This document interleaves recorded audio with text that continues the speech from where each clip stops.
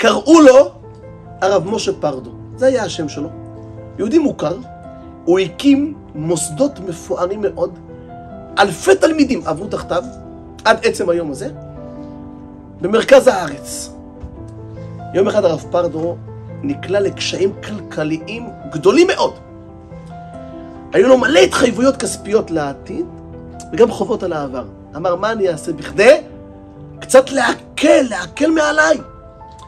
הגה בליבו רעיון. אמר הרב פרדו, מה אני אעשה? אני אטוס לחו"ל. הרבה מכירים אותי שם, הרבה מכירים את המפעל חיים שלי, מה שהקמתי. אני אתרים אותם עוד ועוד ועוד. אבל אני לא אסע, אני לא אטוס בידיים ריקות. הלך לאחד הסופרים המומחים ביותר שגרים בעיר בני ברק, אמר לו, בבקשה, תכתוב לי כמה זוגות תפילין, בעידור רב, בצורה מובחרת מאוד. אני רוצה להביא את זה בתור הוקרה לתורמים של המוסדות. טוב, שבועיים שלושה, סיים, כתב לו כמה זוגות תפילין. הרב פרדו קנה כמה נרתיקים לתפילין, מפרוכת יקרה, מקטיפה מאוד יקרה, ורשם על זה בהוקרה ממוסדות אור החיים במרכז הארץ, וכולי וכולי, בכדי להביא לנדיבים. בא, רכש כרטיס טיסה לארצות הברית, אשתו ארגנה לו כמה תיקים, ואיזה יופי. עשו לו קבלת פנים מאוד יפה שהוא יצא מהמוסדות שלו, בירכו אותו. הוא הלך לקבל ברכה מכמה רבנים שייתנו לו ברכת הדרך, שיצליח במסע שלו, שיאסוף באמת הרבה כסף, להקל מעליו, וכולי וכולי וכולי. והנה, הגיע זמן הטיסה, ממתין בשדה התעופה, בשדה התעופה, עם התיקים, עם המזוודות, עם הכל, ובליבו נושא תפילה חרישית. אנא ממך בורא עולם, תן לי סיעתא דשמיא והצלחה, שאני אצליח במסע שלי לגיוס כספים למוסדות. התפלל, עלה על המטוס, המטוס המריא, שט באוויר, טס, טס, טס, נחת אחרי 12 שעות בארצות הברית. ירד מכבש המטוס, כל הפרוצדורה של שדה, של, של שדה התעופה, לקח את המזוודות, בדק שהתפילין נמצאות שם, עלה על מונית לכיוון היעד הראשון שלו. נסע, נסע, נסע, נסע, נסע, אותו הרב משה פרדו, הגיע לה, למקום היעד שלו, רק פתח את הדלת של המונית, הגיח איזה נהג שנסע, כנראה ממש בחוסר זהירות גדולה מאוד, ושט בכביש, ופגע בעוצמה ברב פרדו, ובאותם רגעים נפל על הכביש, והיה פצוע במצב לא קל בכלל. הזעיקו את כוחות ההצלה, הצלה, אמבולנס עם טיפול נמרץ. העלו אותו לניידת של טיפול נמרץ, עם כל התיקים שלו, הגיע לבית החולים, עבר בדיקות מקיפות, המצב שלו היה בינוני. בהגדרה שלנו היום בינוני. פתאום רואים אותו באמצע, בוכה, בוכה, בוכה, בוכה, בוכה. אלה שליוו אותו שם, הפרמדיקים, אמרו לו, אתה בוכה בגלל הכאבים? בגלל המכה? כי אתה נראה, אתה מבוגר יחסית שעבר בחייו הרבה, למה אתה בוכה? אמר להם, לא, אני בוכה על משהו אחר. הוא לא פירט להם. הגיע לבית החולים, לחדר מיון, בכה, בכה, בכה, בכה, בכה. לימים הוא סיפר, בכיתי ואמרתי להשם, למה? למה? למה? דניאל, למה הגעתי לכאן, לארה"ב? למה? למטרה טובה? מה, רציתי ליהנות? רציתי לקייף? רציתי לטייל? רציתי להכיר את העולם הגדול? רציתי לאכול אוכל טעים? למה הגעתי לכאן? למה? מטרה אחת ויחידה. מה המטרה? להגדיל תורה! לחסות את החובות שלי של המוסדות! לאסוף כסף לתורה! יש לנו כלל, שלוחי מצווה אינם ניזוקים. אני שליח מצווה, למה ניזקתי? זה מזכיר לנו משהו? שאלה שכמעט כולנו שואלים בכל מיני הזדמנויות. למה אני ניזק? לאיפה אני הולך עכשיו? לעשות טוב לאיזה מישהו? לשיעור תורה. לעשות איזה... להתפלל, לקיים מצווה, למה אני ניזק? והוא בכה ובכה ושאל, ושאל, ושאל את השאלה הזו מלב באמת באמת כואב. לא משנה. עבר סדרת ניתוחים, הגיע למחלקה, התאשפז, פתאום הוא רואה איזה בוקר אחד, מגיע הרופא, נראה בכיר, מנהל המחלקה, לסיור חולים. אותו רופא, בכיר, רואה שהציצית מבצבצת מחולצתו של הרב פרדו. אותו רופא אמר לרב פרדו, יש עוד יהודים שחיים בעולם העתיק עם, עם כזה דבר? כלומר, אותו רופא היה יהודי, כנראה שהוא נזכר בבית אבא בציציות. והוא לא ידע שעוד יש יהודים בעולם שחיים ככה, עם ציצית. אמר לו הרב פרדו, אתה מוזמן להצטרף לגל התשובה שהולך וגדל בשנים אלו בארצות הברית. ואנשים מקיימים על עצמם ציצית ותפילין ושאר מצוות. אתה מוזמן, בוא תצטרף אלינו. בוא תצטרף. אותו רופא התרגש. אמר, מה אתה מתכוון באמת? מה, יש כאלה יהודים? לא ידעתי. אמר לו הרב פרדו, לא יודע מה, למה נפלתי למשכב בבית חולים. בכלל באתי לכאן למטרה אחרת, אבל כנראה בשבילך. יש לי תפילין שהבאתי לכאן בכדי לחלק לכמה תורמים בארצות הברית, תפילין מהודרות, בתכלית ההידור לגמרי. ואני לא יכול להביא להם את זה, כי אני שוכב כאן בבית חולים. אני רוצה להעניק לך, אתה בתור רופא, מתנת תפילין ממני. קח בבקשה. ותדע שגם בארצות הברית יש יהודים שמאוד מניחים תפילין ורוצים להניח תפילין. אותו רופא התרגש, הוריד דמעה. אמר לרב פרדון, מבטיח לך הבטחה אחת. שכל יום אני מתחייב מה לעשות?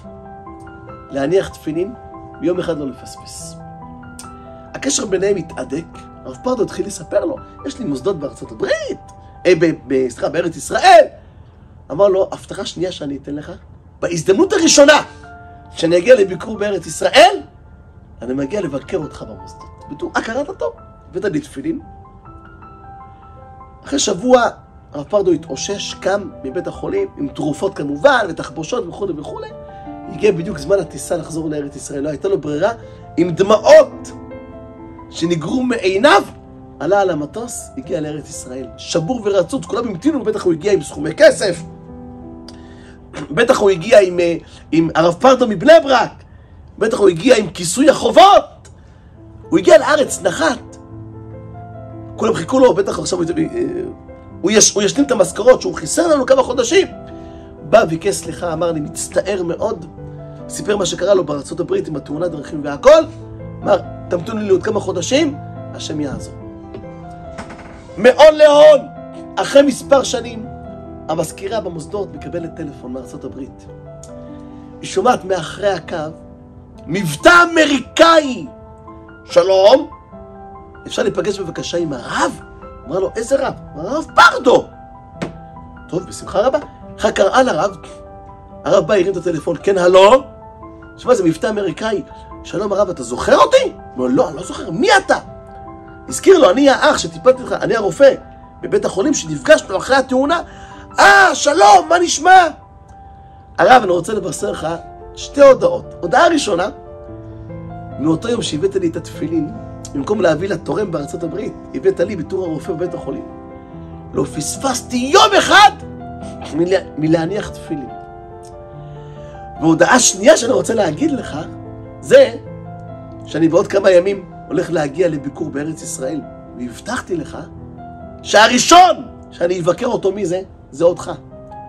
אז אני רוצה להגיע, בבקשה, מה הכתובת המדויקת? אחרי ארבעה ימים, מונית מגיעה לכניסה למוסדות אור החיים. רואים איזה יהודי כזה מכובד, גבוה, מרשים, יוצא מהמונית עם תיקים, נכנס, אומר לו השומר, כן, את מי אתה רוצה? אומר, באתי לפגישה עם הרב פרדו, נכנס לבפנים. עד שקראו בדיוק לרב פרדו, הם התחבקו, התנשקו, חיבק אותו כל כך באהבה רבה מאוד. אמר לו, בוא תשב במשרד, הושיב אותו, הביא לו משהו לטעום, משהו לשתות, כוס קפה על הבוקר. ואמר לו, בוא. אמר לו הרופא, אני רוצה לראות את כל, את כל המוסדות שיש לך, תראה לי. הרב פרדו כהרגלו, הרים את היד ימין, שם אותה על הכתף של הרופא, והתחיל ללוות אותו, להראות לו. חדר פלוני, מוסד על פלוני, פנימייה לבנות, פנימייה ל... בכל התחיל להראות לו את כל הקמפוס הגדול. שעה וחצי סיור. חזרו בחזרה למשרד איפה שהתיקים שלו. אותו רופא אומר לרב פרדו, כבודו יכול לשבת שנייה? תשב. דע לך ש... אמר לו, אני לא יודע איך זה קרה, אבל דע לך דבר אחד, אני אדם ערירי. אין לי בעולם אף אחד, לא הורים, לא אח, לא אחות, לא בן, לא בת, לא אישה. ואנוכי הולך ערירי. גלמוד. יש לי נכסים רבים, וכסף גדול מאוד שקיבלתי גם בירושה, וגם בכל השנים הרבות שאני מנהל מחלקה. עשרות אלפי דולרים לחודש אני מקבל. כלומר, יש לי קרוב לשישה וחצי מיליון דולר.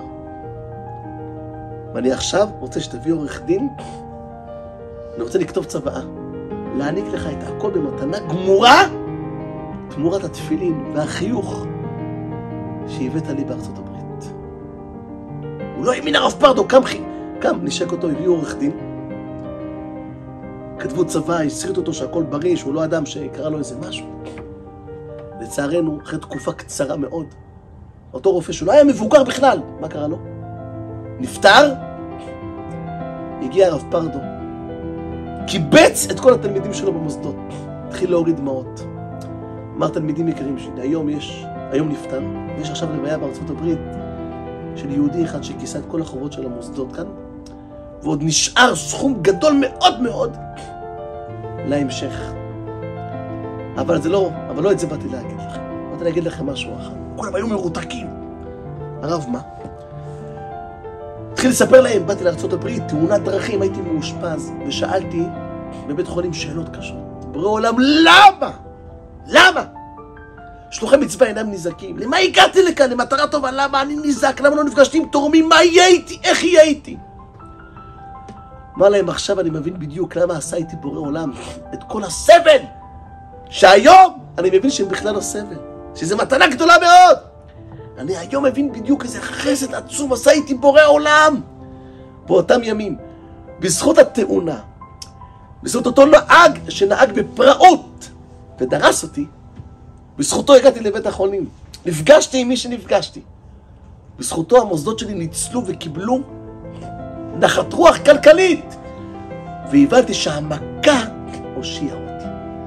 ואמר להם הרב פרדו, רוצה להגיד לכם משפט אחד. אח, אחיי ורעיי היקרים, ידידי, שים למשפט הבא. אדם לא יכול לקבל גדולה והצלחה מן השמיים, אלא אם קודם לכן הוא עומד בניסיון קשה, בניסיונות קשים.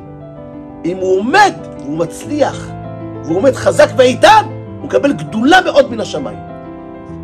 תשמע טוב מה כותב מדרש רבה, פרשת בעלותך.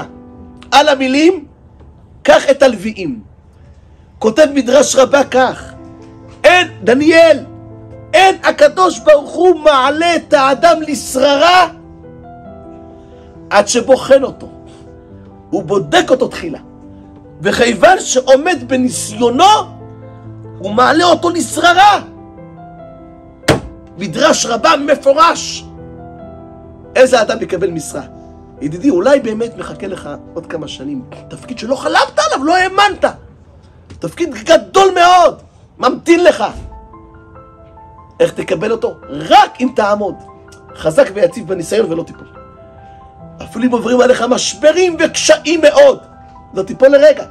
אם תעמוד יציב וחזק, אומר מדרש רבה, רק אז הקדוש ברוך הוא יעלה אותך.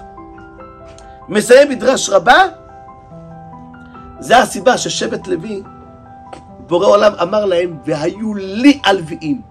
אתם האנשים שהכי קרובים אליי. למה? כי הם עמדו בניסיון ולא התחברו למצרים, ולא טעו בעגל ולא במרגלים. אומר מדרש רבה, אתה רוצה גדולה? אתה רוצה שררה? אתה רוצה יוקרה? אתה רוצה תפקיד בכיר? רק אם תעמוד יציב וחזק ואיתן בניסיונות, ולא תיפול. תהיה חזק, גם בזמן קושי עצום ומשבר נורא. זה הערובה היחידה להצלחה ולקבלת תפקיד בכיר, גדול וטוב. זה מה שהיה עם יוסף. היה בכלא, סבל, היה ללא אף אחד. רק בזכות זה שתמיד תמיד הוא לא איבד תקווה, והאמין שהשם איתו, ובטח בבורא עולם בצורה אמיתית וכנה, זכה בסוף לשלוט על העולם כמעט, על מצרים, פרנס את העולם ופרנס את כל בני ישראל באוכל. רק בזכות שאברהם אבינו עמד בעשרה ניסיונות, קיבל מה שקיבל והגיע להיכן שהגיע.